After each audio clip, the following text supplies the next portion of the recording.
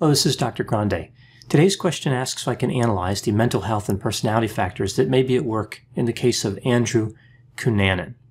Andrew Cunanan killed five individuals, including Versace, a well-known fashion designer. Just a reminder, I'm not diagnosing anybody in this video, only speculating about what could be happening in a situation like this.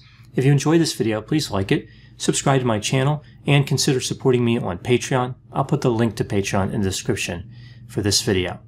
So first I'll look at the background of Andrew Cunanan, move to the timeline of the crimes, and then I'll talk about the mental health and personality factors. So starting with the background, Andrew Cunanan was born in National City, California on August 31, 1969. He had three older siblings. His mother, Mary, was an Italian American, and his father, Pete, was a Filipino American. Andrew did quite well in school. He was considered exceedingly talkative and intelligent. His IQ was reported to be 147, so that's over three standard deviations above the mean. There were manipulative traits as well, though, with Andrew. Some described him as a pathological liar. He would tell stories that were incredibly difficult to believe. Claims that he made before he committed the murders included this idea that he owned a plantation in the Philippines, that he owned land on the French Riviera. He said that he was an actor, an importer, and owned a chain of parking lots. I guess stressing the importance of diversity in one's career. If he was going to lie anyway, why didn't he say that he imported land from the French Riviera to make parking lots? Kind of confused people a little bit. In high school, Andrew identified as gay and began having relationships with older men who were quite wealthy. Before graduating high school in 1987, he was voted least likely to be forgotten. Some reports say most likely to be remembered, kind of the same thing. He also wrote a French phrase in the yearbook. It translates to, after me, the flood. After this, he studied American history at the University of California, San Diego. In 1988, Andrew's father, who was a stockbroker, moved to the Philippines to avoid arrest. He had been accused of embezzlement. Not long after this, Andrew's mother learned about Andrew's sexual orientation.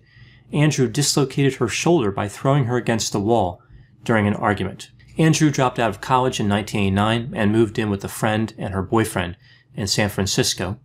Andrew survived by accepting money from his wealthy romantic interests and from dealing drugs, namely cannabis, cocaine, and opioids. Andrew started using a number of aliases at this time as well. He would break up with a man named Norman Blockford in 1996. Blockford had been supporting Andrew financially, paying him somewhere between $2,000 and $2,500 per month, giving him access to credit cards, and giving him a car. After Blockford dumped him, Andrew's lifestyle started to erode. He increased his drug dealing activities and increased his use of alcohol, narcotics, and methamphetamine. Andrew started taking an increasing interest in sadomasochistic sex. He stopped dressing fashionably, he gained 30 pounds, and he did not comb his hair.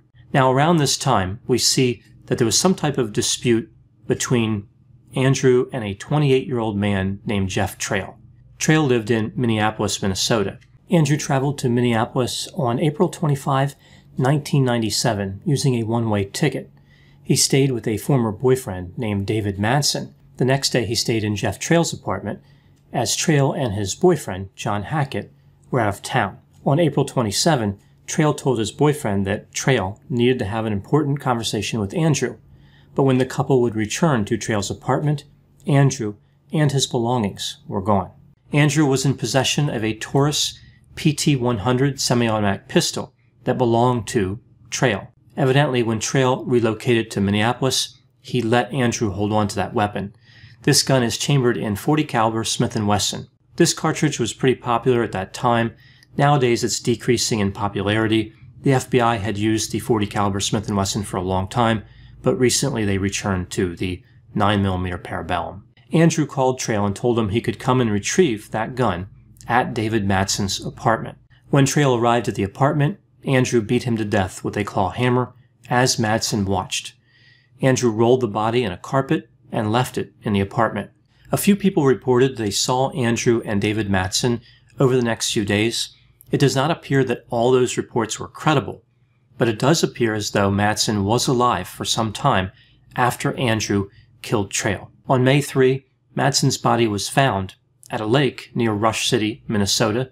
He had been shot with Trail's firearm. It is believed that Andrew killed Madsen on May 2, but it could have been before that. The police would later find a gym bag bearing Andrew's name at Madsen's apartment. In it, they found a box of Remington Golden Saber 40 caliber Smith & Wesson cartridges with 10 of the cartridges missing. I guess Andrew forgot to leave the written confession. It seems unusual to me that he would not take all the cartridges. Did he believe that that was discourteous? That he should leave a few for somebody else? When somebody's on a homicidal rampage, usually they want to have as many cartridges as possible. The next day, Andrew drove to Chicago, where he killed a man named Lee Miglin, a 72 year old real estate developer. Miglin was bound, stabbed with a screwdriver several times, and his throat had been cut with a saw. Andrew took the victim's 1994 Lexus LS, cash, and gold coins. He left the Jeep he was driving behind at that house, and he drove to the East Coast. The Lexus had a car phone installed in it. Andrew used it to make several calls, which allowed the police to track him using triangulation from the cell towers. This information was leaked to the press. Andrew found out about it and ripped the phone from the car. On May 9, Andrew shot and killed a 45 year old man named William Reese at a cemetery in Pennsville, New Jersey. Reese was the caretaker at that cemetery where the murder took place. Reese had been killed with the same 40 caliber pistol. Andrew stole Reese's 1995 Chevrolet pickup and drove to Florida. He checked into the Normandy Plaza Hotel in Miami Beach, Florida on May 12. He was featured on the FBI's 10 most wanted fugitives list a month later. Andrew would check out of that hotel in July. He made his way to Miami Beach, and on July 15, at around 8:45 a.m., he shot a 50-year-old man named Gianni Versace, a well-known fashion designer. Andrew shot him twice, once in the face and once in his neck. Andrew had approached him when Versace was on the steps in front of his mansion. Versace had just returned from a store where he bought a newspaper and some magazines. Andrew fled the scene being chased by witnesses, but he turned around and threatened the witnesses with the firearm, so they broke off the chase. The police found the Chevrolet pickup truck owned by Reese in a parking garage not too far away. In the vehicle, they found newspaper clippings from Andrew's murders. Andrew's body would be found in Miami Beach, Florida, on a houseboat on July 23, 1997. He died from a self-inflicted gunshot wound to the head. Now moving to the mental health and personality factors. Let's take a look at the potential personality profile for Andrew Cunanan. When I conceptualize personality, I use the five factor model. I remember the five traits through the acronym OCEAN. Openness to experience, conscientiousness, extroversion, agreeableness, and neuroticism. So Andrew appeared to have a high level of openness to experience. He was creative. He invested heavily in fantasy. He was intellectually curious and adventurous. He had low conscientiousness. He was impulsive and irresponsible. He had high extroversion. He was talkative, assertive, outgoing, although he may have had few positive emotions. Andrew had low agreeableness. He was not humble. He was not straightforward. He didn't appear to be altruistic. It's not clear if he had a lot of trust for other people. Perhaps he did at one time, and that trust eroded, or that could have been a facet where he scored a little bit higher. As far as neuroticism, we see a high level. He was angry, depressed, anxious, emotionally reactive, self-conscious, and had no ability to resist temptation. Now, his personality may have developed in part due to his relationship with his father. Their relationship was unusual. Andrew's father, Pete, gave him a lot of attention when he was young. As a child, Andrew was allowed to use the master bedroom in the house. Pete bought him a sports car when Andrew was 14 years old even though Andrew did not have a driver's license. Image was important for Pete. For example, he always wore expensive suits, so that may be where Andrew got that idea. When Pete fled to avoid prosecution, Andrew's mother was left with only $700. Everything else was gone or would be sold off to pay Pete's debts. Andrew flew to the Philippines intending to live with his father, but after arriving he saw that Pete was living in squalor. Andrew returned to the United States knowing the truth about his father, but he told his friends that his father was a success. It's like Andrew didn't want to give up the lie. Now, I'm not aware of any diagnosis that Andrew received in his life. There have been many theories about what could have been going on with his mental health. One theory says that he may have had antisocial personality disorder. His behavior may align with some of the criteria for that disorder. After all, Andrew frequently lied, was impulsive, irresponsible, and lacked remorse. But it's not clear if he had behavioral problems before the age of 15, which is required for antisocial personality disorder. Another argument has been made for narcissistic personality disorder. His behavior appears to align with several of the symptom criteria. For example, grandiosity, believing oneself to be special, having a sense of entitlement, being manipulative, having a lack of empathy, and being arrogant.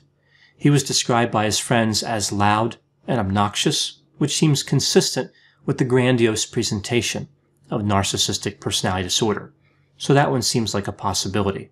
I think one could also make an argument for certain borderline and histrionic traits as well. From borderline, we see chronic feelings of emptiness and emotional dysregulation, and from histrionic, we see needing to be the center of attention. So Andrew may have had features from all four of the cluster B personality disorders, but what diagnosis he may or may not have had, of course, remains unknown. It also makes sense that perhaps Pete was depressed, and it seems like he did have a problem with substances, so perhaps something like substance use disorder. So that brings us to the question, what motivated Andrew Cunanan? Why did he commit these homicides? I know Andrew technically qualifies as a serial killer, but his behavior is atypical for that designation. Let's take a look at his murders individually, as the motives might be different for each one. The first murder victim was Trail. These two had some type of dispute in the past, as I mentioned. It's not really clear what the conflict was about. So this may have been about money, maybe about drugs, but something happened between them. So Andrew may have been trying to settle some type of score. The second murder seemed to be about romantic rejection. We know that David Madsen had rejected Andrew. So this one could fit into the classic serial killer paradigm. Andrew was hurt by the rejection, so he was going to make that person pay. The third murder, Lee Miglin, is the one that seems to have the most in common with the typical serial killer behavior. It did seem as though it had a sexual domination theme to it. Andrew had wrapped the victim in tape, similar to what he had seen recently in a movie that he rented that featured bondage. Also, Andrew did not know this victim. It's not clear why he selected him. The fourth victim, Reese, appears to have been killed simply for his pickup truck. Andrew knew that he'd been tracked by the authorities, and he wanted to switch vehicles. The fifth and final victim, Versace, seems to be the reason that Andrew went to Florida. It's not clear if Andrew had ever met Versace before. This murder seems to be a play at immortality. Andrew knew that his days were numbered, so he decided to kill somebody in an effort to become notorious. Looking at these murders, we see a different motive for each one. This is highly unusual for a serial killer. Is there one motive that could explain all these homicides? One popular theory is that Andrew thought he had HIV. Now, an autopsy revealed he did not, but his belief that he did may have led to a nihilistic and dark view of the world.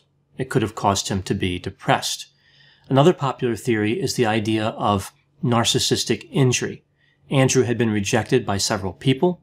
He could not maintain his upscale lifestyle. People started to see that he was a fraud. So all this comes together and he simply can't accept the change in status.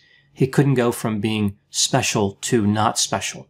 So he committed a series of homicides to prove how important and memorable he actually was. Now moving to the last theory. This is the one that I think is most likely. At some point prior to the murders, Andrew decided to end his life. He knew he was going to be checking out, so to speak, and he wanted to indulge his narcissism fully.